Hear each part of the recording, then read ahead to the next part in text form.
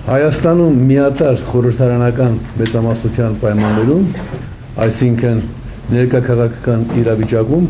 վարչապետից կամ նրա փոփոխությունից որևէ բան ակնկալելը վկայում է այն, որ ակնկալողին պետք է սրտանց մաղթել քաղաքագիտական նվազագույն գիտելիքների ձեռբերում։ Երբ որևէ բազմակուսակցական երկրում խորհրդարանական ընտրությունների արդյունքում մեկ քաղաքական ուժ տիրանում է խորհրդարանի ձայների բացարձակ մեծամասնությանը, որպես կանոն դա հետևանք է անարդար ընտրությունների։ Սակայն դա այլ հարց է, այսօր ես դրա մասին խոսել չեմ ուզում։ Այսօր կա խորհրդարանական մեծամասնություն, եւ այդ մեծամասնության մենաշնորհն է նշանակել կամ հերացնել վարչապետին։ Նրա փոփոխությամբ Հայաստանում որևէ բան չի կարող փոխվել Ուշագրավ է, որ վարչապետի փոփոխություն տեղի ունեցավ ռուսական ազդեցության գոտում գտնվող նաև այլ երկրներում։ Սրանից կարելի է հետևություն անել, բոլոր բոլոր դեպքերում եղել է արտաքին ազդեցություն։ Գուցե հոգեբանական եւ ճանաչողական առումով կարևոր են նրբերանգները, սակայն առարկայական քաղաքականության տեսանկյունից այդ նրբերանգները որևէ բան չեն փոխում։ Բոլորիդ համար գաղտնիք չէ, որ ես ունեմ բավական մեծ անցած ճանապարհ եւ համարելով, որ փորձառությունս պետք է ծառայի նաեւ սկսնակ քաղաքական գործիչներին, խորհուրդ եմ տալիս շատ չողոքեվորվել տեղի ունեցած վարչական կադրային կամ անձնակազմային փոփոխությամբ։ Ուրեմն քանի որ ասացի անցած ճանապարհից մասին, ասեմ, որ ընդամենը երկու շաբաթ առաջ, ներողություն, 10 օր առաջ, մարտի 29-ին, լրացավ 45-ամյակ իմ առաջին կալանքի։ Այն ժամանակ ես դատապարտվեցի 4 տարվա ազատազրկման որպես ազգային միացյալ կուսակցության ղեկավար։ Պատկերացրեք այն տարիներին ազգային միացյալ կուսակցություն հիմնադիրը Հայկաց Խաչատրյանն էր, դա դարձավ սովետական միության միակ մինչև վերջ գործող կազմակերպությունը ուրեմն պես որ փորձի մասին որ ասում եմ ձևականորեն չեմ ասում այո հայաստանին պետք են փոփոխություններ սակայն ինչպես արդեն առիթ եմ ունեցել ասելու վարչապետի եւ կառավարության փոփոխությունը ներկա պայմաններում անպտուղ գործ է եւ դրա հետ կապված ընդդիմադիրների ճիքերը կամ իրենց ընդդիմադիր կոչողների կամ այլ կերպ կոչողների ոչ այլ ինչ են, քան հանրության ուշադրությունը կարևորագույն հարցերից շեղելու եւ խորհրդարանում ոչ իրենց մեղքով, այսինքն իրենք փոքրամասնություն են, այդ է պատճառը։ Ոչ իրենց մեղքով անարդյունավետ ներկայությունը արդարացնելու փորձ։ Կենսաղային ձևակերպմամբ դրա ընդամենը մարզանք է, որը գուցե օգտակար է, սակայն որևէ առարկայական արդյունքի չի կարող հասցնել։ Այսօր մեր ժողովրդին սպառնացող հիմնական վտանգը հիմնական վտանգը ռուսական կայսերապաշտության խորացող եւ մեզ դեպի անցանկալի նույնիսկ կորցանարար հանգրվան տանող ազդեցության ընդլայնումն է եւ եթե քաղաքական ուժերը կամ իրենց այդպեսին համարող ուժերը այլ խնդիրներ են տեսնում նշանակում է այդ ուժերը կամ քաղաքական չեն մանավանդ ազգային քաղաքական չեն կամ դասական իմաստով դավաճանության ուղի են որտեգրել Սա մեզ մեր պատմության համար նորություն չէ։ Մենք այդպիսի շրջան ունեցել ենք։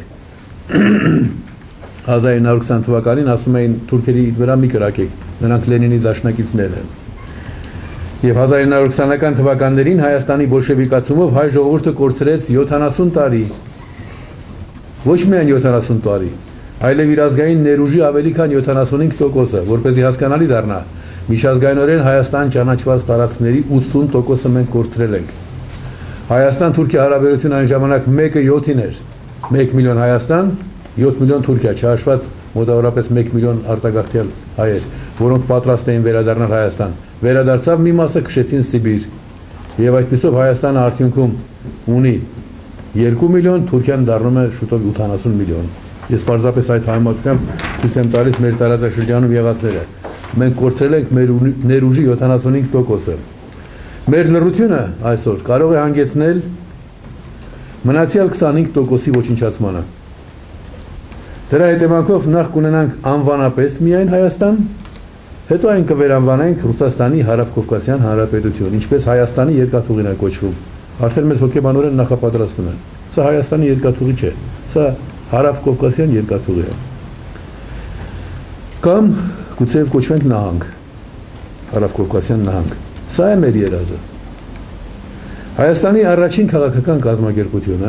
այսինքն մենք ԱԻՄ-ը, դուք գիտեք, որ Հայաստանում առաջին քաղաքական կազմակերպությունը ստեղծվել է 87 թվականին։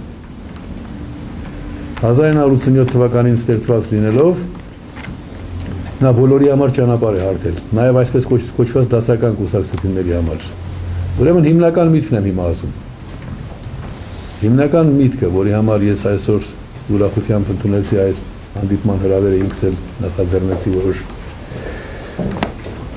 չափով Հայաստանի առաջին քաղաքական կազմակերպությունը եւ անձամբ ես կոչ ենք անում բոլոր քաղաքական հասարակական կազմակերպություններին եւ ազատախոհ քաղաքացիներին միասնական ճակատ կազմել հանուն Հայաստանի փրկության։ Սա էր ինչ կուզեի հիմնականում ասել։ Պարոն Հայրիկյան, ահա հանրայ ռադիո այսպեսի հացա, այ միջ վարչապետը, երբ վարչապետը հրաժարական չէր տվել, բոլորն ասում էին, որ պետք է կառավարություն հրաժարական, տա վարչապետը հրաժարական։ Բոլորը չէ։ Թեթև սոլիկները բոլորը չէ։ Լուրջ մարդիկ ասում էին պետք է պայքարել մաքսային միության դեմ։ Վարչապետը հրաժարական է տվել եւ այսօր նույն ձևիշած գրեթե բոլորը նաեւ ասում են որ վարչապետի փոփոխությամբ ոչինչ չի փոխվելու։ Ով էլ գա նույնն է ինքը։ Հետևաբար ո՞նց եք պատկերացնում հետագա ընթացքը, հա, ինչ քայլեր պիտի ձեռնարկվի այս դեպքում, որպեսզի ինչ որ մի բան երկրում փոխվի։ Ռուսաստանի լաքեյները կլինեն իշխանության թե կլինեն իշխանության դեմ Հայաստանում նրանք մնում են Ռուսաստանի լաքեյը, այնպես որ ես նրանցից ակնկալիք չեմ ունեցել եւ չունեմ։ Հետևաբար որևէ փոփոխության մասին նրանց հետ կապված, նրանց քայլերի, նրանց ցանկությունների, երազների հետ կապված, նաև երազախապությունների հետ կապված ես ոչինչ չունեմ ասելու։ Պարոն Հայրիկյան, դուք միավորման կոչ եք անում, եթե անգամ կենտրոն հեռուստատեսություն, անգամ եթե այդ միավորումը լինի, պետք է չէ վարչապետ նշանակվի ձեր կարծիքով որ թիմից անձեր մասին չխոսենք, պետք է նշանակվի ձեր այդ միասնության վարչապետը։ Եթե խոսքը գնար Հայաստանի իշխանության համար պայքարի մասին, ձեր հարցը տեղին կլիներ եւ ես կասեի նույնիսկ դուք կարող եք լինել վարչապետ, եթե ես լինեմ նախագահ, որովհետեւ մենք միասին կքննարկենք թե ինչ պիտի արվի։ Այսօր Հայաստանում կա parlamentakan մեծամասնություն եւ նախագահ Հայաստանում վարչապետ նշանակելուց առաջ, որպեսզի վարչապետը կաշկանդված չլինի, դու պետք է ունենաս խորհրդարանական մեծամասնություն։ Եթե մենք խոսում ենք այսօրվա մեր շեշտած շեշտադրած նպատակների մասին, ապա դա մաքսային միությունից շուտապույտ կերպով դուրս գալու Հայաստանի ինքնիշխանությունը վերականգնելու մի փաստ բերեմ միայն Ուկրաինան պարտքեր ունի Ռուսաստանին այդ ինչի գույք պարտքի դիմաց Ուկրաինայից չեն վերցնում որևէ բան որովհետև Ուկրաինայում սրիկա երկրի ղեկավարներ չկան իսկ Հայաստանում սրիկա ծախու ղեկավարներ էին, որ Հայաստանի գույքը, որ իրենց չէր պատկանում, իբրև թե հայ ժողովրդի համար պարտքի դիմաց տվեցին Ռուսաստանին։ Այդպիսի բան միջազգային պրակտիկայում բացառիկ դեպքերում է եղել։ Այնպես որ խոսքը այսօր գնում է միավորվել, որպեսզի մենք Հայաստանը պահպանենք որպես Հայաստան եւ Հայաստանը տեր կանգնի իր իրավունքներին։ Հայ մարդը չպետք է ստորադասվի բայց արդեն մաքսային միության հետ կապված փաստ է, որ Հայաստանը մինչև մայիս ամիս արդեն հայտարարվել է անդամակցիա միության։ Հետևաբար դուք այլ երկ չեք տեսնում։ Հայաստանը 70 տարի սովետական միությանը համագործակցեց, մաքսային միությանը դեռ նոր պիտի սկսի համագործակցել։ Ռուսական իմպերիալիզմի որևէ դրսևորում եւ նրան հայերեն չկա այդ բառերը, պատդակվենի որ ասում են այդ երևույթին թեկուզ լրությամբ գլխով դրական շարժում անելը դավաճանություն է, նող գալիս տուրակարշություն։ Պետք է պայքարել մաքսային միություն կոչված ռուսական իմպերիալիզմի նոր դրսևորման դեմ։ Ինչպես։ Ինչպես եմ ես պայքարել կոմունիստական կայսրության դեմ։ Սկսել եմ տպագրել անկախություն թերթ, այն ժամանակ ընդամենը 5 հոգի էինք։ Հիմա գոնե հրաապարակում նվազագույնը 50 հոգի կանգնում է կողքից, երբ հենց այնպես դուրս եմ գալիս մենակ։ Իսկ բացի այդ Հետո վերջին անգամ արդեն մոտ 500 հոգի, այնպես որ դա բայց մենք հարցումներ ենք անցկացրել եւ գիտենք, որ ժողովրդի ներսում տրամադրությունը դեռևս 60-40-ի հոգուտ Եվրոպական միության ազատ անկախ Հայաստանի։ Ինչ եք ասում։ Ինչ արդյունքի եք ասել։ Ում եք ներկայացնում։ Հրապարակ օրաթերթ։ Դուք չգիտեք ես ինչ արդյունքի եմ հասել։ Չէ, ուզում եմ ձեզանից իմանալ, որտեղ այն ժամանակ ձեր պայքարը Դուք չգիտեք ինչ արդյունքի եմ ես հասել, փոքր եք եղել, բայց դուք պատմությունը պետք է ուսումնասիրեք։ Դուք Նժդեին էլ չգիտեք, չէ, բայց Նժդեի գործունեությունը գիտեք։ Հավատացնում եմ ձեզ, որ հայ իրականության մեջ կարող եք համեստորեն ասել նաև ամբողջ աշխարհում, որևէ գործ չի վերցրեք, երեք չառաջ օրը մի ամերիկացի էր ինձ ասում։ Վերցրու անհամես չթվա, բայց իր բառերն եմ ասում։ Մի ավելի կարևոր բան ասեց Հայաստանի հետ կապված իհարկե, բայց դա եթե առիթ լինի կասեմ, ասում էր վերցրու Նելսոն Մանդելա 20 տարեկան, 25 տարեկան, 30 տարեկան եւ Պարույր Հայրիկյան նույն տարիքներում։ Այդպես բարձացի։ Քեզպես աշխարհում էլ մարդ չկա։ Եվ սովետական միության ժողովրդավարական շարժումների հիմնադիր ու առաջնորդ ձեզ դա չեն ասել, որ դուք չիմանաք, որ เป զի հանկարծ Հայրիկյանի քաղաքական ռեյտինգը չբարձրանա։ Բայց այն ինչի որ ես ասել եմ, գոնե Հայաստանի միջազգային իրավունքի ենթակա դառնալը։ Տեսեք, չեմ ասում անկախանալը, որովհետև անկախանալը նաև դե ֆակտո կողմեր ունի, բայց Հայաստանը դարձել է միջազգային իրավունքի ենթակա շնորհիվ այն բանի, որ ուղիղ 39 տարի առաջ Բարույր Հայրիկյանը դեր խոնարհ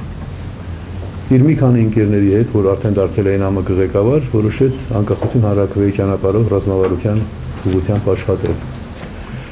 Պարզապես նայեցեք Մանդելայի մասին խոսում են ուրիշները, ձեր մասին խոսում եք դուք։ Որովհետև դուք բթամիտ եք։ Եթե դուք բթամիտ չլինեիք, դուք խոսեիք, բայց քանի որ դուք չեք խոսում, ես եմ խոսում։ Ձեզ ստորացրել, ես դες անձամբ նկատի չունեմ։ Դե հայ մարդուն ստորացրել են։ Ամերիկացիք ասում են, այդ ինչպես պատահեց, որ սովետական միության ժողովրդավարական շարժումների առաջնորդ ճանաչված մարդը կոորդինացիոն կենտրոնի նախագահը եկավ Հայաստան եւ ընդամենը 1 տարի քաղաքականության մեջ երևացած մարդը դարձավ նախագահ եւ ոչ այդ 25 տարի պայքարած եւ անկախության ուղին նշած մարդը. Ձեր ազգը ինչ է հոգեկան հիվանդ է կարող է որևէ մեկը 1 տարվա մեջ քաղաքական գործիչ դառնալ ես էլ ասում եմ չգիտեք այնտեղ ուրիշ շարժում կար բայց ասում այդ շարժումը անկախության հետ կապ ուներ կոնկրետ ասում ասի չէ նկատի ունեցեք ինչեր կա դուք էլ մտածեք դուք կարող եք մի օրվա մեջ վիրաբույժ դառնալ ոչ մի տարվա մեջ բայց Հայաստանի նախագահ դարձավ առաջին մեկ տարվա մեջ ինչ Հայաստանում ուրիշ գիտնական չկար այդ մի կիսատ պրատ գիտությունների տեխնացուներ որ մի տարվա ընթացքում դարձավ Հայաստանը ղեկավարելու ընդունակ մարդ այդպես չի լինում մեր կորզանման պատճառն էլ դա է որ Լևոն Տեր-Պետրոսյան մեծամիտը ամենից լավ իմանալով թե ով է Հայրիկյանը կանգնեց մեր ժողովրդի ճանապարհին։ Թող իրեն արտաքսեին ինչ էին եւ Աֆրիկա քշում, որովհետեւ գիտեն որ ես եմ այդ պայքարի առաջնորդը։ Եթե դուք բոլորդ բթամիտ եք ազգով, ձեզ ստորացրել եք, դարձել եք ծախու ռուսական գործակալ։ Ես էլ որ չասեմ, վաղը ձեր երեխաներն էլ է ասեն, ոչինչ չունենք, մենակ այդ ծախուներն են մեր ազգը։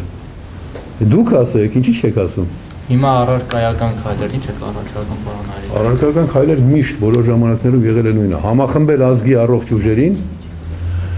ազգի առողջ ուժերին համախմբել եւ այդ համախմբված ուժերով գտնել- ոչ բթամիտ ուժերի գտնել ելքը։ Դե գործակալները շատ են, դուք շատ ճիշտ եք, ճիշտ եք նկատել, գործակալները շատ են, բայց դա մեզ չպետք է վհատեցնի։ Երեք Դավիթ Շանազարյանը ինձ ասում էր, պատկերացնում եք, ասում էր, սովետական միության օրոք ավելի շատ ազնիվ մարդիկ կային, քան հիմա։ Չեմ ասում հակառակը, գործակալները ավելի քիչ էին, քան հիմա։ Շնորհակալ եմ։ Ես մի հարց ունեմ պարոն Հարիկյան, եթե կարելի է, դե DMM-ի հետ կապված վաղը դե DMM-ը նախաձեռնել նախաձեռնելու հետ եւ բան ակցիա բողոքյակցիա գուզե իմանալ դուք եք շարժմանը կուտակայինի դեմ ընդհանրապես այս նախաձեռնություններին ոնց եք վերաբերվում հիմա այս Ես հատուկ ձեզ համար եմ ասում, մենք այդ DMM-ի շարժման հետ ոչ մի կապ չունենք, չենք ունենա, բայց մենք կուտակայինի դեմ արտահայտվել ենք բազում առիթներով, որովհետև դա ինքնորոշման եւ պարտադիրի հակամարտություն է։ Մենք ինքնորոշման կողմնակից ենք, նույնիսկ դեմեմի միջոցառումներին ենք ներկա եղել։ Իսկ դեմեմները դրանք անցողիկ երևույթ են, որևէ խելոք մարդ դեմեմով ասպարեզ չի իշնում, նա ասում է թե ինչին է ինքը կողմ։ Նրանք մի քանի օր առաջ հպարտանում էին, գրկախառնվում, լացում, ուրախանում, թե հաղթել ենք, մենք հաղթեցինք, իսկ այսօր նորից ցույց են անում։ Ես նրանց մաղթում եմ մի քիչ գրագիտանալ։ Իսկ այն, որ այդ շարժումը Իսկ այն, որ այդ շարժումը շատ կարևոր է, կարևոր է հայ մարդու ինքնորոշման իրավունքի տեսանկյունից։ Ոչ պարտադիրին մարդը, երբ հարցը վերաբերում է իրեն, ինքը պետք է որոշի թե ինչ անի։ Այսինքն դուք չեք մասնակցի ամեն դեպքում նորից այդ ինչի՞ չէ, ակցիաներին որևէ տեղ որևէ մեկը մի բան անի, որ ինքնորոշմանն է նպաստում, մենք կմասնակցենք։ Արցախյան շարժումը ինքնորոշման շարժում էր, ամբողջ այդ շարժումը ես եմ կազմակերպել։ վաղը անել են կարող է ձեզ տեսք Կարող է, ինչի՞ չէ։ Օրինակ, որովհետև ես ասում եմ, այդ հարցը իրենք խոսում են մակեր օրինակ Արցախի Արցախյան շարժման ժամանակ որ ես կազմակերպում էի բոլորին հրավիրում հրապարակ միջազգային ռադիոկանալներն էի օգտագործում նրանք գալիս գոռում էին Լենին պարտիա Գարբաչով մենք ասում էինք ինքնորոշում Արցախի ինքնորոշում պատմական արդարություն մենք մասնակցում էինք կարևոր սկզբունքով հիմա սրանք էլի պիտի գան կորան մենք դեմ ենք մենք էլ ասում ենք քաղաքացուն վերաբերող հարցում պետք է առաջնորդվել քաղաքացու ինքնորոշման իրավունքով եթե վերաբերում է հասարակության հանրությանը պետությանը Այդ դեպքում կարող է լինել պարտադրանք, այս դեպքում չի կարող լինել, մեր գնահատականը, սկզբունքային գիտական գնահատականը։ Եվ եթե ինչ որ մարդիկ երևույթի դեմ բողոքում են, չհասկանալով նրա խորքային բովանդակությունը, մենք նրանց պիտի օգնենք մինչև վերջ, որ խորքայինն էլ հասկանան։ Այսինքն կկանգնեք իրենց կողքին, օրինակ վաղը կամ մյուս օրը։ Ինչ եք ասում, 10 անգամ նույն հարցը պիտակ։ Կանգնել են Մենք գնացել ենք ներկա ենք եղել այդ միջոցառումներին։ Շնորհակալություն։